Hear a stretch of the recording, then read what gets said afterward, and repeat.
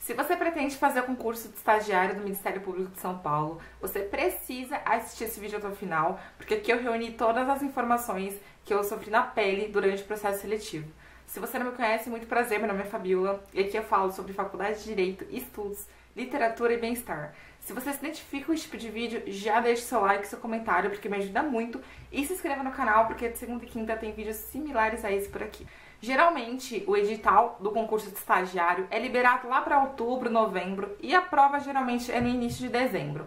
Todas as provas que tiveram até agora, eu percebi que foram assim, mas obviamente pode ter uma alteração dependendo do ano que você está assistindo esse vídeo. Assim que o edital é publicado, você vai perceber que tem uma série de matérias que são cobradas na prova e eu já adianto para vocês que nem todas elas caem na prova efetivamente. Nem todos os itens do edital, aliás, nem nesse concurso, nem concurso nenhum. Basicamente, tem pontos que eles cobram mais e até uma dica para você é você estudar por provas antigas, porque lá você vai conseguir se basear quais são os pontos mais pedidos por eles nos anos anteriores. Eu recomendo que seus estudos sejam baseados basicamente em legislação seca, um pouquinho de doutrina talvez, mas se você não está acostumado a estudar doutrina, não adianta você começar a estudar agora, principalmente se você começar a estudar com um mês de antecedência, ou sei lá, três semanas de antecedência, porque não vai dar tempo de você fazer um estudo aprofundado. Outro ponto importante sobre a prova é que eu recomendo que você estude um pouco de português, porque as questões dessa matéria são fáceis e você consegue matar algumas de direito. O nível da prova é fácil, eu achei super proporcional,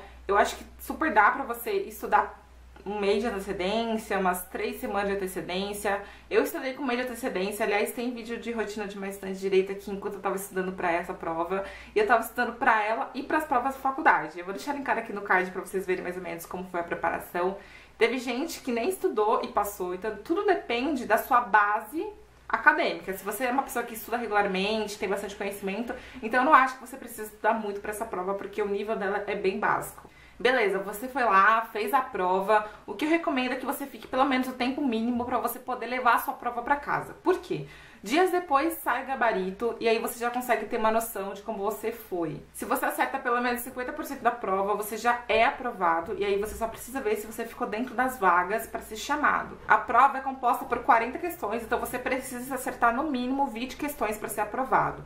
Se você não acertou os 20 questões, fica calmo, porque eu tenho uma dica para você senta com a prova, a legislação, o edital e a lei do lado e corrija a sua prova. Por quê? Sempre que você achar que uma questão ela pode ter duas respostas, você pode interpor recurso. E presta muita atenção, porque o prazo para interposição do recurso é super curto e eles não prorrogam. Cada questão tende a valer 0,25 pontos e você precisa acertar no mínimo 5, ter nota 5 para você poder ser aprovado.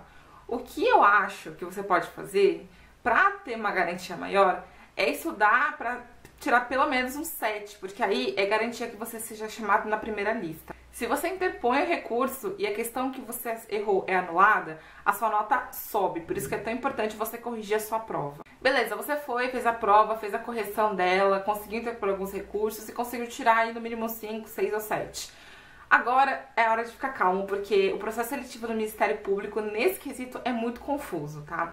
Vai sair a lista das pessoas aprovadas e vai sair uma data lá para você comparecer lá para a escolha de vaga. E, além disso, vai, já vai sair a, a lista dos documentos que você precisa levar. Essa data que eles vão disponibilizar é somente para você ir lá escolher a vaga, não é ainda a data para você levar os documentos.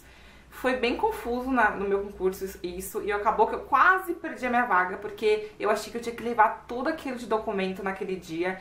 E, gente, tem um ponto nesse, nesses documentos que me chateou bastante, porque eles pedem um atestado médico específico. Nesse atestado precisa ter especificamente que você tem saúde boa física e mental. E nenhum médico queria fazer isso em, sei lá, 10 dias, que foi o prazo que me deram lá pra poder ir fazer a escolha de vagas. Então, assim, saiu a lista, você vai lá escolher a sua vaga sem levar nenhum documento. Se você já tiver tudo pronto, beleza, você pode levar. Se você não tiver, você vai ter um mês aí, mais ou menos, para você poder agilizar esses documentos.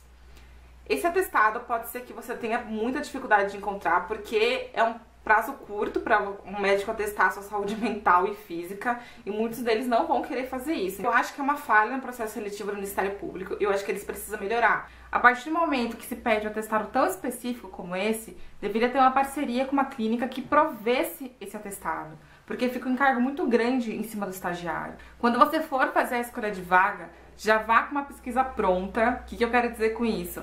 Pesquisa sobre o promotor, sobre a promotoria, o que, que a promotoria aborda. Porque quando você chega lá, você não tem tempo para ver isso. Você chega na, na mesinha, eles já querem saber para onde você vai. Depois que você escolhe a sua vaga, você precisa levar os documentos para eles. Você não consegue entrar em exercício sem a apresentação desses documentos. É um pouco desorganizado, tive que ir lá, lá umas três vezes, assim, até que eu consegui finalmente ser aprovado todos os documentos. Então você precisa ter um pouco de paciência. Depois que você deixar os documentos com eles, vai sair no Diário Oficial o seu nome e o dia da sua posse. Aí é só você comparecer no local onde você escolheu estagiar e assinar o termo de posse e exercício e assim você já vai estar tomado posse. Bom, nesse vídeo eu abordei sobre o processo seletivo, a prova e a posse. Eu vou gravar um outro vídeo falando sobre o estágio em si, as atividades desempenhadas. Então deixa muito like pra eu saber se vocês realmente querem. Comenta nesse vídeo. E ó, não esqueçam de assistir os outros vídeos que tem no canal, beleza? Super, hiper, mega beijo e até o próximo vídeo. Tchau!